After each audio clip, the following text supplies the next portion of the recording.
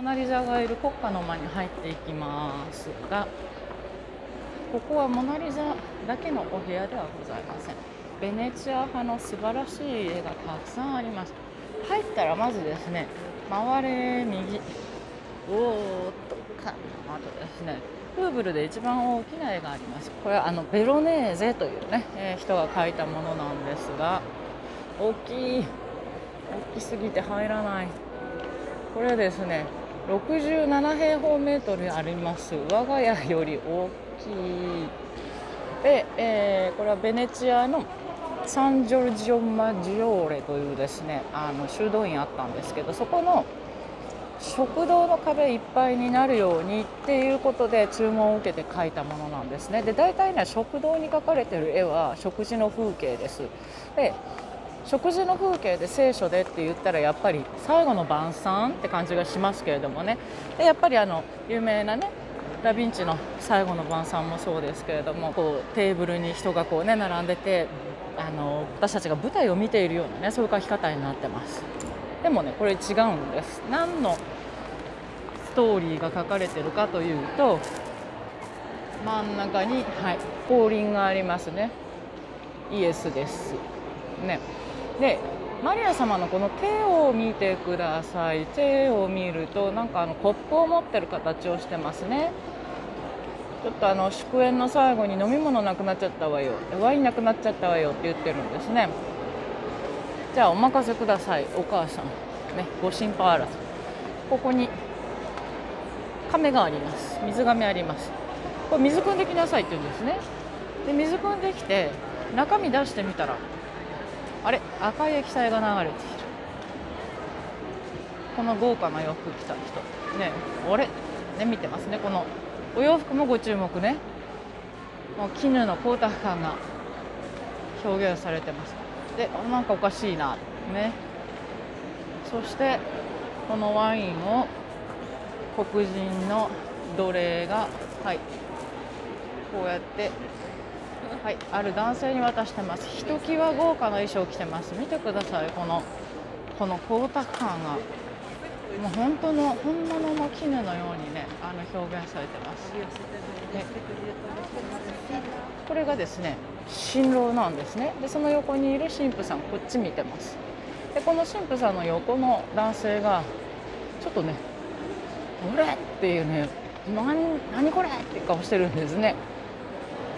飲んでみたらワインだったっていうですね、えー、キリストが水をワインに変えたという有名なあの奇跡をですねここで表してます。カナの婚礼という聖書のエピソードがこうやってひあの右から左へとですね時間が流れていて描かれているわけです。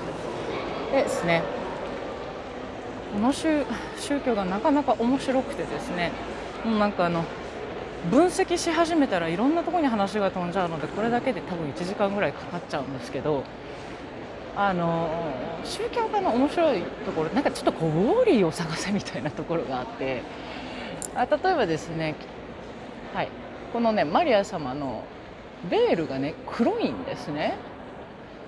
黒ってねやっぱりあの縁起悪いですね。で中心に絵の中心ねイエス・キリストがもちろん中心に書かれていてその中心に、はい、頭の上では何が起きているかお肉切ってるんです。ねおかしいな。ねテーブルにはデザートが出てるのにこっち見るとお肉食べてるんですね。お肉切ってるんです。これはキリストの受難のことを言ってます。ねこれから人類の犠牲になっていくというねキリストの受難を表してます。そしてこの砂時計。同じ直線上ね書かれてますね。はい砂時計があるということでね、えー、イエスの限られた時間です。はい。もうすぐ時代に会いますよとねそういうことを言ってるわけですね。この絵を毎日見てきっと楽しんでいるだろうと思われる方があちらにいらっしゃいますよ。ついに見えてきました。モナ・リザがあそこにいます。皆さんね大体ねちっちゃいって言ってびっくりされるんですけど77センチ ×53 センチ。でポプラの板に書かれています。はいこうやって今ついてます。よかった。はい。あの10分とか15分とかね待つこともあるんですよ。モナ・リザはね1人だけルーブルで1人だけあの頑丈なこの壁の中に入ってですね防弾ガラスで守られております。もうこれ国のもう宝物ですからね。値段つけられません。で、えー、空調湿度ですね。すべ、えー、全て管理されています。振動も管理されています。もうですね。これ500年前の絵ですからここから出しちゃうとねボロボロになっちゃうんです。ね、ということで、えー、もうここから出ることは二度とありません。でもねモナ・リザそばによっても綺麗に見えません。ね、あのポスター買って眺めて方が よくわかります。はい。でモナ・リザがまあなんで有名なのかって言ったら今までねあのダ・ヴィンチの作品ご覧いただいたのでそれでよくあのそれでお分かりいただければなと思うんですねスフマートの奇跡であるとでやっぱりそのあの現実の世界を忠実にこうね、えー、絵の中で再現しようとしたもうその最高傑作なんだと人間のもう生きた人間のですね魂をこう感じるようなリアルな絵を描けたのはこの人だけであると、まあ、私は思うんですけどであとやっぱりその誰だ誰だかはっきり完全には分かっていないっていうそのミステリーですね。でやっぱりあのどんどんどんどんですねこうミステリーがあのあの年を重ねるにつれてあの増えていきましてねこれは実はダ・ヴィンチなんだとか実はこれ男装した女性なんだとかいろんなこと言われましたね。でメディチ家の愛人だとかいろいろ言われたんですけど、まあ、ほぼリザ・ゲラルディーニというですねモナ・リザというのはマドンナ・リザのことですね。リザ・ゲラルディーニさんだと分かっているそうですけれどもね。でフランス語ではモナ・リザって言わないでラ・ジョコンドって言うんですね。それはあのゲラルディーヌさんの旦那さんがジョコンドさんって言うんですね。でジョコンドっていうのはあの喜びとかね幸せ幸福とかそういう意味があるんだそうです。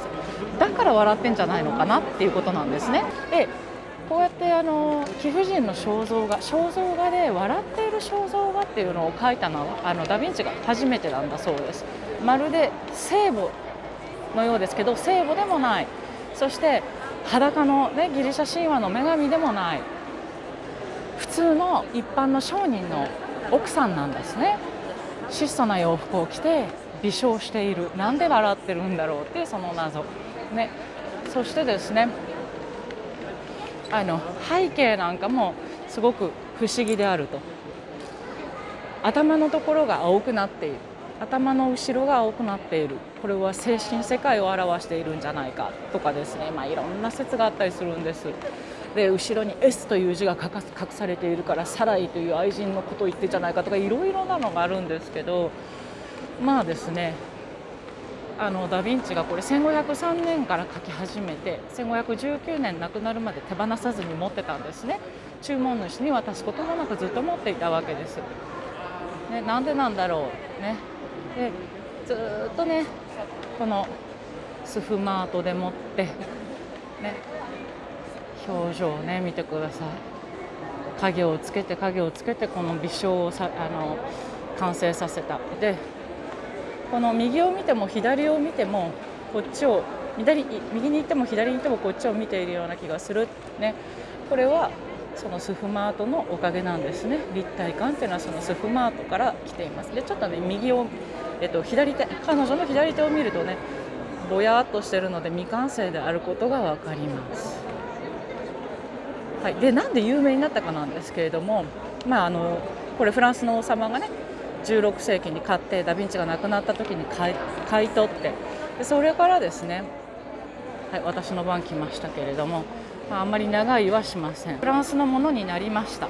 でフランスのものになってからですね、えー、まあ、もちろんダ・ヴィンチだ、ね、ダ・ヴィンチという人、ね、人がもうやっぱりあの伝説なんですよ。だからダ・ヴィンチが書いたっていうことでもう国宝になったわけですね。で特にこのミステリアスな部分そのファム・ファタルみたいなイメージをつけたのが19世紀の作家です。作家たち。ね、彼た彼らがいろんなあの仮説をこう唱えたりとかしてねどんどんそういうイメージがねあの出来上がっていきました。で決定的にしたのは盗難事件なんですね。1911年に、え、イタリア人のガラス職人が、えー、盗んでそれでね日本でも初めて報道されました、まあ、こう私がこの「モナ・リザ」を好きな理由っていうのがやっぱりこう人間をとことんとことんこう研究したダ・ヴィンチが何て言うのかなたどり着いた答えみたいな感じがするんですよね。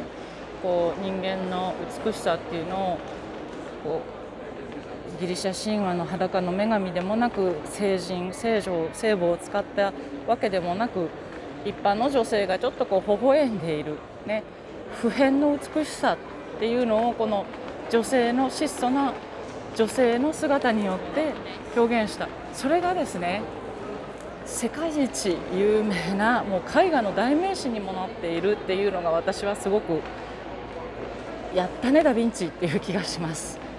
はい。なんかそんなまとめ方ですかって感じなんですけどということでこの国家の馬ですね、えー、まあ、今日は2時間以内にでき1時間半って冒頭で言った気がするんですけど収めたいと思うのでちょっと寄り道はせずですね国家の間を出ていきます。